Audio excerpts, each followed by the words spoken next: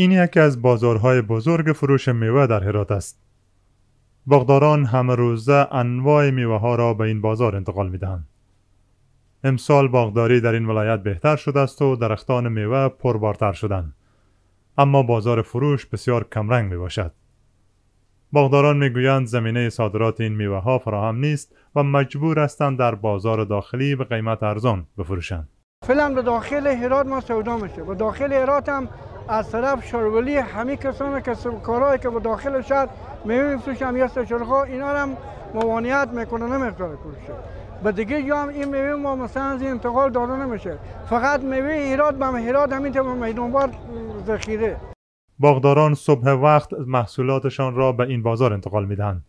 روزانه صدها تن میوه تنها وارد بازار ایراد می شود اما زمینه صادرات این میوه به بیرون از کشور فراهم نیست.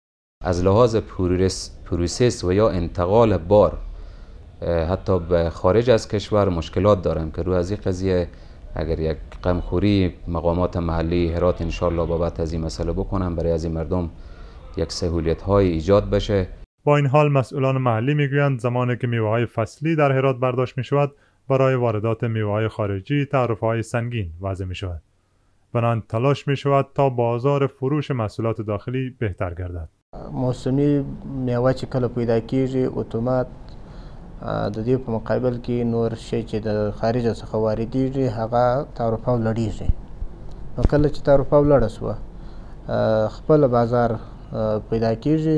انشالله ان قریب با کشور قزاقستان میرم بازاریابی می‌کنم تا بتونیم ما امی انگور و انجیر و بعضی میوه دیگه که ما صادراتی داشته باشیم به کشور قزاقستان یا به دیگه کشورها انشالله صادرات داشته باشیم.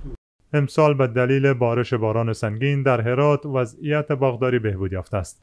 باغداران حاصلات خوب برداشت کردند اما هنوز زمینه صادرات این میوه ها به بیرون از کشور فراهم نیست.